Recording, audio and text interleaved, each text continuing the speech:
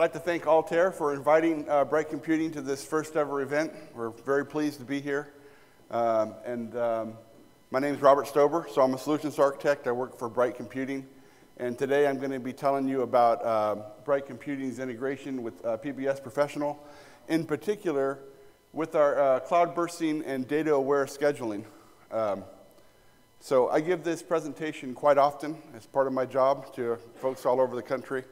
Um, normally it takes about an hour and a half to go through the whole presentation. So this is a much trimmed down, you can thank me, a much trimmed down presentation. I'm only going to have a few slides about Bright in general, and then I'm going to focus very specifically on uh, cloud bursting and scheduling data to the cloud, which is something that we're very proud of at Bright.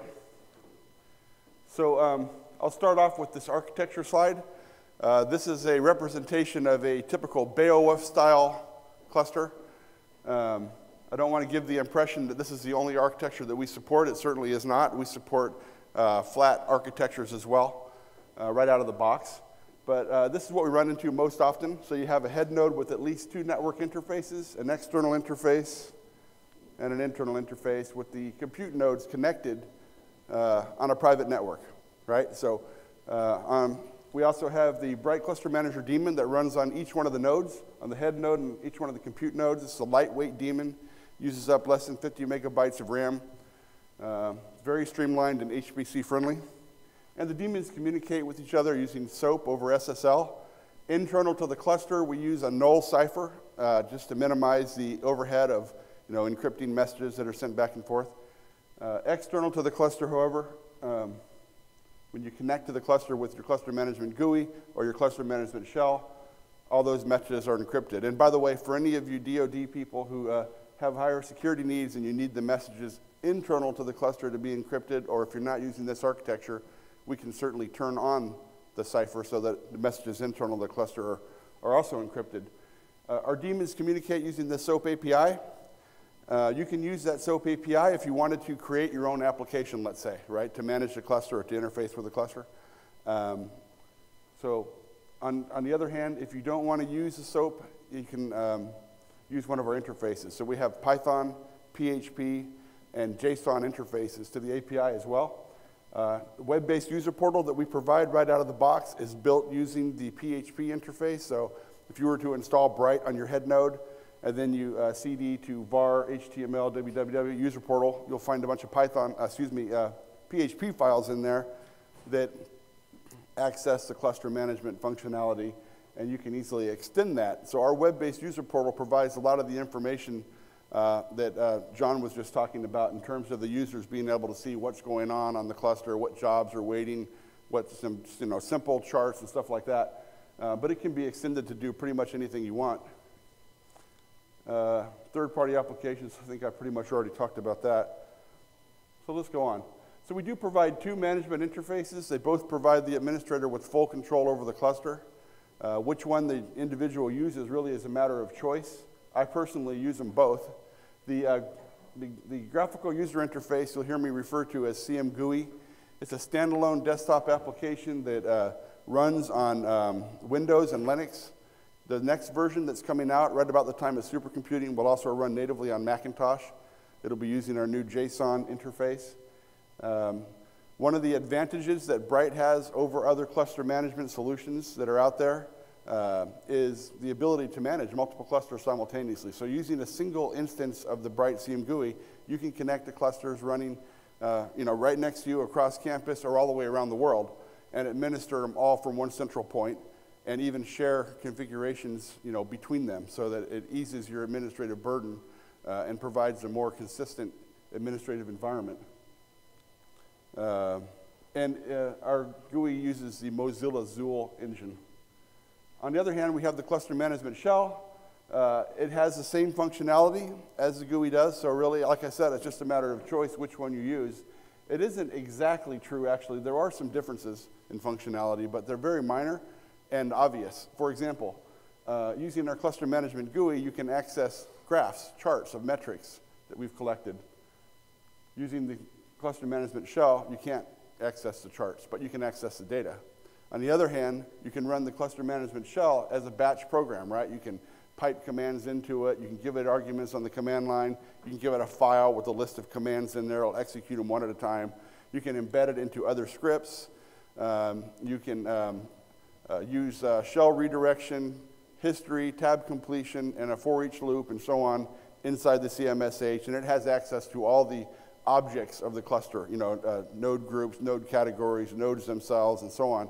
You can iterate through them and operate on a wide range of, of cluster objects all simultaneously. So it's much faster if you know how to use it, right? It's got a higher learning curve than the CM GUI does, but on the other hand, once you learn how to use it, it's more powerful, typical of a shell, you know, application. So this is another way to look at the Bright Cluster Manager. You have the cluster manager sort of in the center of the universe here, surrounded by the security layer. Uh, I already talked about the um, uh, SOAP well, when you connect to the cluster using one of our either CMSH or our CM GUI, you do so using X509 certificates along with the password. So that is what encrypts your you know, communication back and forth to the head node, provides very secure authentication.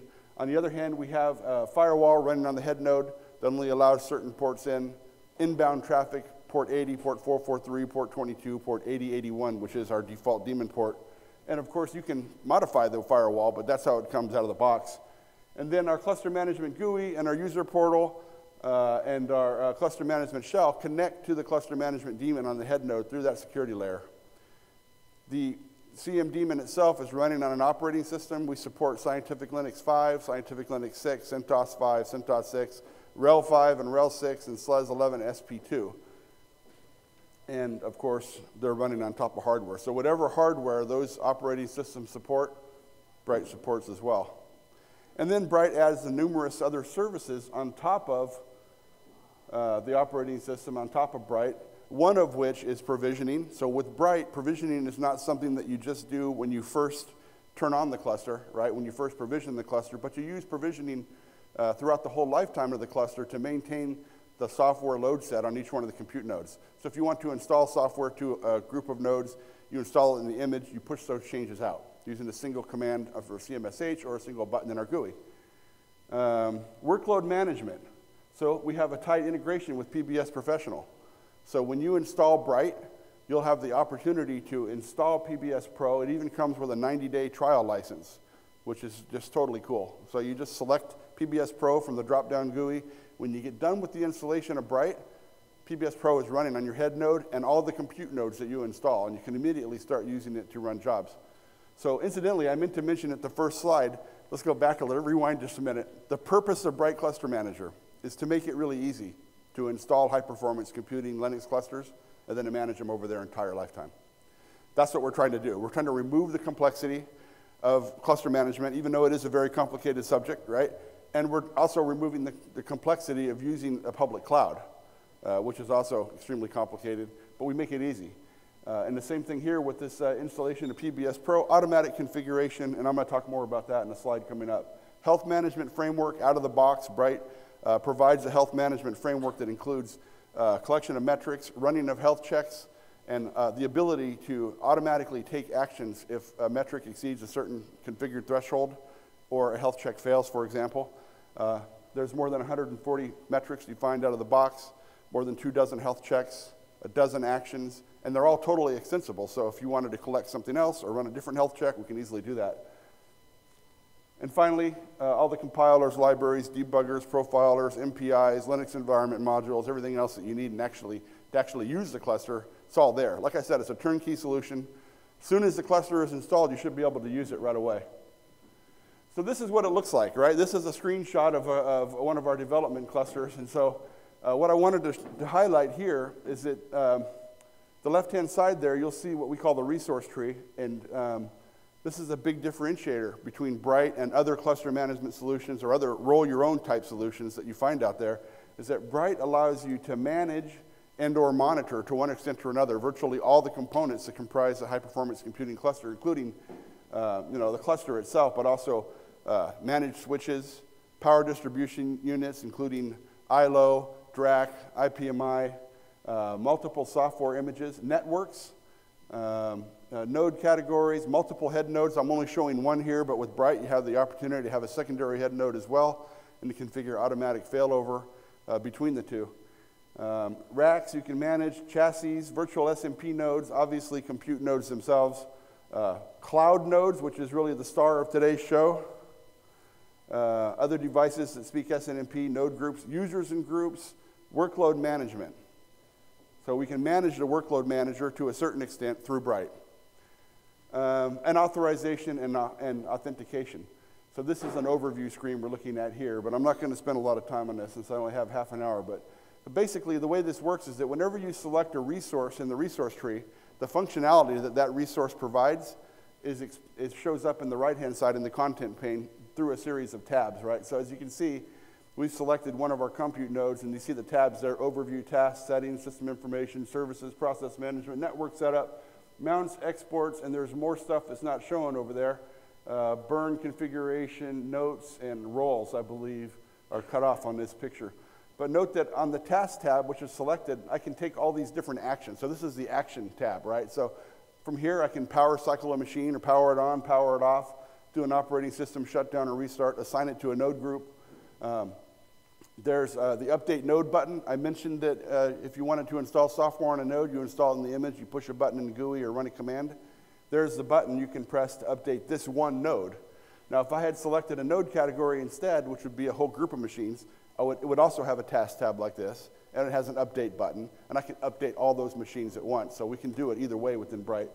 I can force it to do a complete reinstall. I could log into this node and install software on this node and then press the synchronize image button and save those changes back to the actual image itself. Or I can make a clone of an image and then install software on this node and then press the grab to image button and save the running state of this node back to the cloned image. And then I would provision a node to try it out. So that's the general idea there. I can drain the node uh, from a workload management point of view. That means don't send any more jobs there, or I can undrain it. Uh, I can open up a root shell. Uh, if I've configured console over serial over LAN in the image, then um, I can open up a remote console, see all the console messages, watch the thing boot, and so on. I can open or close it for the purposes of monitoring. I can locate it in the rack. We have a rack view. I don't have time to show you everything, but we have a rack view that shows where all the nodes are in the data center. Uh, and uh, this would highlight the node in that rack view. Look at the provisioning log, run any of our health checks. So there's a whole bunch of health checks that are defined uh, for, the, for the default node category. And I can run any of them right from here, right now, and get the output or I can run them all. Uh, finally, um, uh, what's not shown on here is the uh, workload manager integration. So uh, Bright does a number of things with PBS Pro, uh, both starting from when we first do the installation. I mentioned the drop-down box, right? So you select PBS Pro, you select how many, how many uh, job slots, for lack of a better term, you want on each one of the compute nodes, and whether or not you want the head node to be to run jobs or not you go on to the next stage. When you get done, Bright has installed PBS Pro and it's running on the head node. And when you turn on your compute nodes and provision them, they'll also become part of the queue. They'll be able to run jobs on them right away. Automatic configuration. So when you add nodes to your cluster, they automatically get added to the PBS Pro configuration files. When you take nodes out of the cluster, they automatically get removed. Uh, in addition, there's a couple of resources that we add too. Uh, we're going to talk more about those in a minute uh, sampling, uh, sampling analysis and visualization of workload manager statistics. Admittedly, this is uh, pretty basic stuff. Running jobs, pending jobs, completed jobs, exited jobs, expansion factor, estimated delay, and the actual health check status of the, um, of the uh, mom on each one of the nodes. We actually do a PBS command I believe it's QStat to make sure that the thing is actually not just, not, not just that the process is running, but it's actually responding you know, properly like it's supposed to be. Periodically run that command automatically so that the administrator is alerted if you know the mom goes down on one of the nodes. In fact, we actually restart the mom as, as well if it goes down.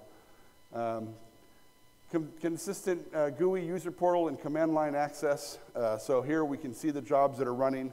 Um, we can control the queues to a certain extent. We can drain or undrain. We can assign nodes to queues and so on all that from either one of those uh, places, not from the user portal, but from the command line or from the GUI. Uh, numeric GPU resource, so we automatically create this GPU resource. Um, and uh, whenever you have GPUs in your cluster, you can go into the Bright GUI there and configure how many GPUs are associated with each node. And then when the user submits the job, obviously they specify the in GPUs resource and how many they need, and then PBS does its job and sends the job to one that has that. Um, failover the workload manager. So, uh, you know, the PBS failover automatically fails over to the uh, secondary head node if you have that configured. Otherwise, your normal PBS failover will work. Uh, health checking. I mentioned health checking already, but I wanted to add on pre-job health checks. So we have the health check framework already. A bunch of health checks are periodically being run. Um, and um, then we have this idea of the pre-job health check, which addresses what we call the black hole node syndrome. And I, I think I heard you call it the black hole node syndrome as well. So the black hole node syndrome, for people who don't know what it is, is where you have a cluster and you have a workload manager running and users are submitting the jobs just like they're supposed to. Everybody's happy, right? Uh, waiting in line, everything's cool, except that one of the nodes fails in a subtle way. For example, let's say one of the project directories that's supposed to be mounted isn't mounted, right? Well, that means that when a job goes there, it'll start and it immediately exit. And then the PBS will say, okay, I got an open job slot, takes the next job, and it exits. Before you know it, you can lose 10, 20, any number of jobs, right, through this black hole node. And the problem is, as the administrator, you can't actually fix the problem. You can't restore people to how they were, how they should be, right? Because a bunch of new jobs are now running. What are you to do? Go back and kill those jobs and put these jobs back? And even if you did, there's more of them that exited than, than, were, uh, than you have available job slots. So really, the only way to solve this is by solving it ahead of time. So what we do in Bright is we actually prevent it from being happen. We allow from happening in the first place, right? We allow you to define a health check, let's say a mounts health check that gets run uh, in between the time the job is dispatched to the node by PBS and the time the job starts running. The pre-job health check runs, and if the if the pre-job and it can be more than one pre-job health check too. If it fails, then it gets requeued back to the top of the queue. The job is not run there at all uh, and that node is drained, so no more jobs are sent there, and you get alerted. So you can go fix the problem, and the black hole node syndrome is cured before it causes any problems. So we're proud of that. Um, it's a very generic interface, and we think you'll find it quite useful. So that brings me to cloud bursting. So there's another resource that, that Bright created that, that um, uh, there's actually a couple things that Bright did that I didn't mention in the last slide. Um, and one of them, and uh, they all have to do with this cl- uh, cloud bursting, right? So Bright really sees two scenarios of cloud bursting. One is where the entire cluster is actually located in the cloud. That's not what I'm talking about today. I'm talking about the scenario where you have a local cluster and then you have a period of time during the month or every quarter or maybe just for a one time project when you need more resources, right? You just need them right now for a short period of time, let's say, or you you need them in advance of a purchase that's coming up. And that's where this cluster extension scenario comes into play. There's your local cluster. You want to add some resources from within Bright. You click on that little Cloud Nodes resource, and you start this process going to where you can actually just add cloud nodes. And these nodes will actually come up in Amazon. It takes five to 10 minutes for them to be allocated, for them to get provisioned. Uh, they will, uh, Bright will automatically create an OpenVPN between the head node and the cloud nodes. And um, uh, so, it's, it's, it's, so it's quite secure from that point of view. PBS Pro will automatically be started on those nodes, and jobs can actually start running on them right away. Of course, there's some caveats that we're going to talk about as we go through, but you know, if you had a very simple PBS Pro job that uh, the data files were already up in the cloud or something like that, right, they could immediately start running. Um, and so these nodes in the cloud behave in all respects just like the local nodes. You saw that picture I showed a little while ago where I had the node selected and you had all those buttons and everything. Well, those same buttons are available for the cloud nodes. So if you wanted to install software on the cloud nodes, you just go to the image, install your software. Basically, RPM dash dash root equals whatever the path is, you know, dash IVH, or mypackage.rpm, and then you push the button. It gets propagated out to your local nodes and out to the cloud nodes if they're in that node category. So immediately the change is made, and you know you can remove software the same way. You can use yum dash dash install root. Uh, you can do a change root into the image and run make and make install or whatever. Uh, I think I beat this one to death. Anyway, they're just like your local nodes, This is the point, right? So you can administer them and use them just like you do your local nodes.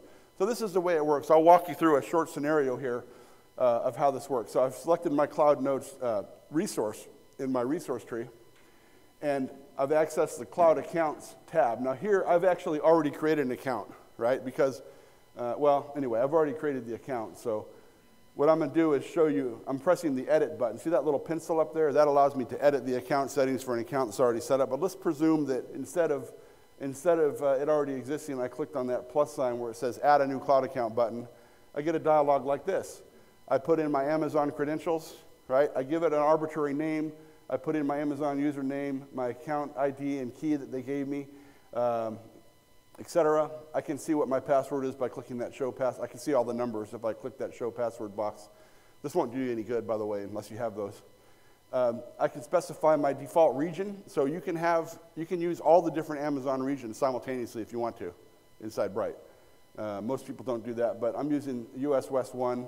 Uh, note the default type, so this is a develop, development cluster, so I'm using the cheapest possible Amazon instance type, which is a T1 micro. Um, it's very small, it costs like, I don't know, a penny an hour or something, um, but it's perfect for my purposes. And then for my cloud director, I'm using the M1 large uh, Amazon uh, instance type. No, note that on those drop-down boxes, every Amazon instance type is supported, from the smallest ones to the largest compute instances. You can, you can select them here. And um, the same thing when we go to create the cloud nodes in a moment. But I haven't told you what a cloud director is. Okay, so let's go into that. After I press OK and walk through a few more dialog boxes, the very last step of this will actually create something that we call a cloud director. Okay? So, a cloud director is a node that runs in the cloud in a region uh, that acts, it performs some of the functions in the cloud that are normally performed by the head node in your local cluster. Um, some of the things that it does. Well, first of all, it serves as a gateway between your local cluster and the cloud. Um, it provisions the software images to the cloud, so it has a copy of the images that you want to use on the cloud nodes already on itself, right? So when it boots up, it acts as a provisioning server for the nodes in the cloud. Uh, basically, the way it works is that the uh, the Bright AMI starts up. The Bright AMI is a, you know, it's an Amazon machine image. It connects to the Cloud Director, and then it does a regular uh, rsync type provision like Bright does. Um, yep. It serves as shared storage to the cloud node, so it shares a directory called slash cm slash shared, which is where we put a bunch of applications and so on by default. Uh, it also shares the home directory of the user in the cloud, so we don't mount these directories from the local up there. Instead, we synchronize the CM shared directory up to the cloud, and the home directory is a local home directory. It's, a locally, it's shared locally within the cloud region.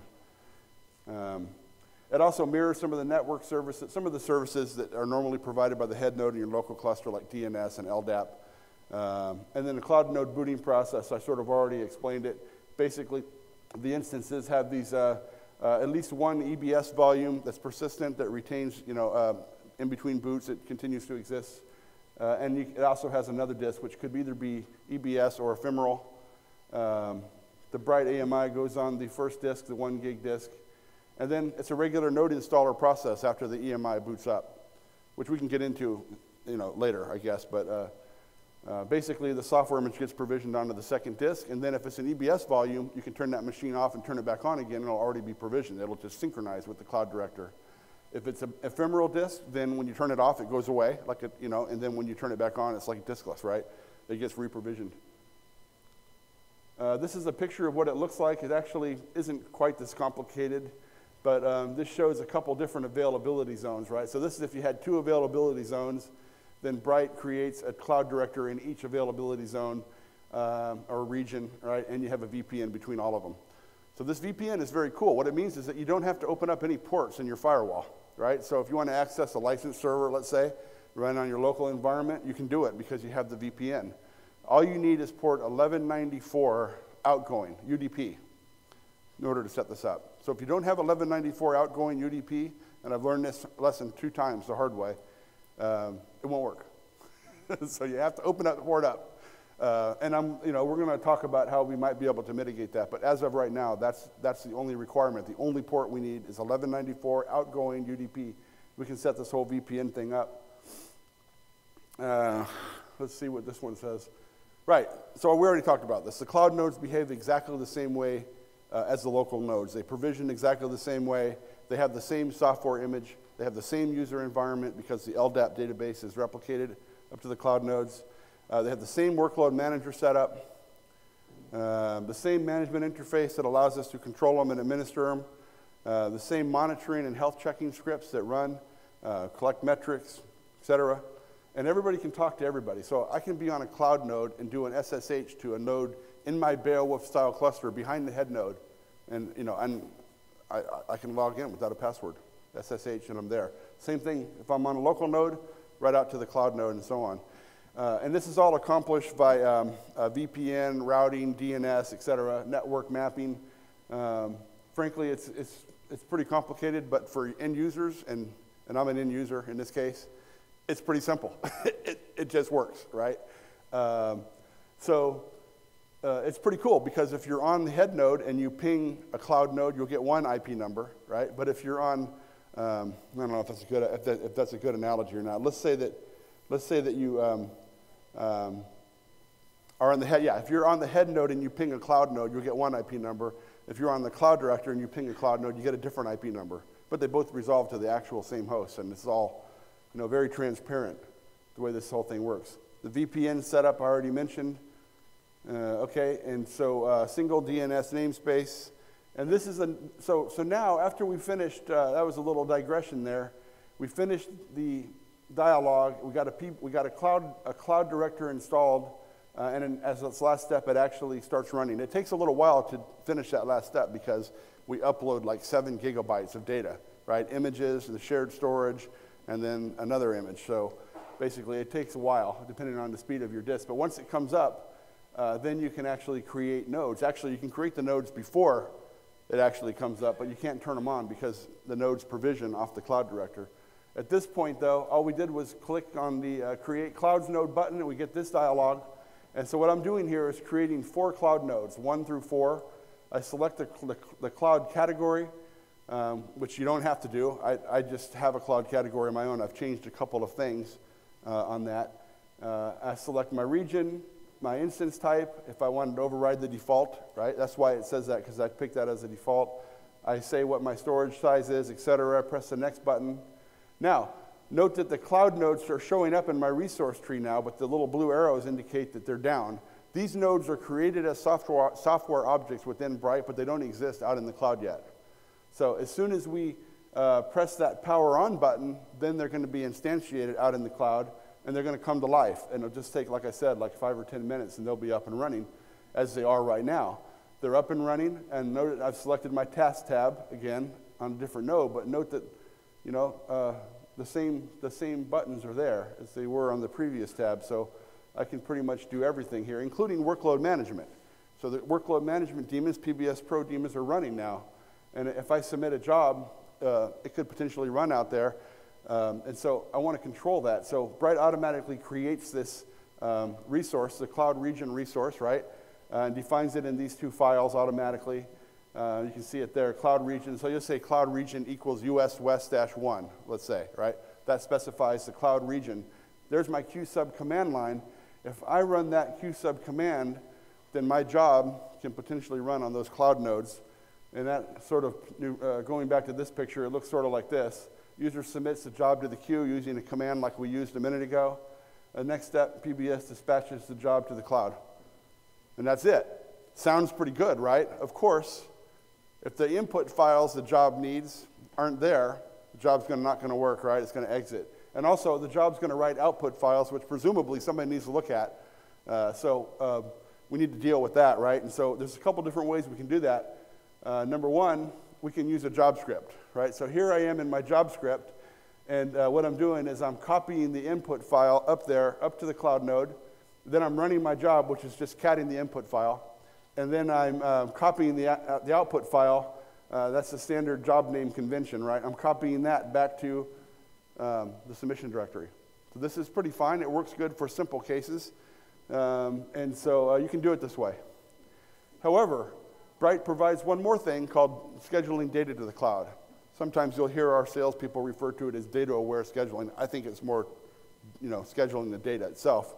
Uh, and so here's the way it works. Starting with the same picture again, this time the user submits a job using a new command that Bright provides called CMSub. And what CMSub does is it actually submits a couple of jobs. First of all, it submits two data transfer jobs. Uh, and both the compute job and the final data transfer jobs are dependent, right? So the first data transfer job will, will, um, tr will transfer the data files that are required up to the cloud, up to the cloud director. So what it'll do is it'll, like let's say you're in your home directory slash directory one, and then you have a file, right? You specify that in your CM sub command. It's, it's, a, it's a script, like a, like a job script. It will copy that file up to the cloud, then it will run your dependent real job, right? And then it'll run another job that will transfer your output files back down uh, to your local directory. Uh, so it just makes the whole process real simple. So the user submits, so here's the data transfer job, and then, then the compute job runs, and then the dependent job transfers the data file back to the cloud node uh, when the job is completed. So this, this has a couple of advantages over the um, uh, putting the statements in the job script method that we mentioned earlier. First of all, it's a lot simpler. Um, that other way can get pretty complicated pretty quick, right? So uh, this way allows you to specify individual files or entire directories or multiple entire directories or um, can, you can give it you know, a, a, file with a list of directories and files to copy up and the same thing copying back down. You can specify a certain cloud region. You can specify whether to keep the files on the cloud nodes or to delete them, etc. Uh, and um, uh, it's, a, it's an integral part in the, in the very last step of this whole thing. This is what a CM sub command looks like. It looks just like a job script with CM sub arguments in there. There's your uh, file that I'm copying up.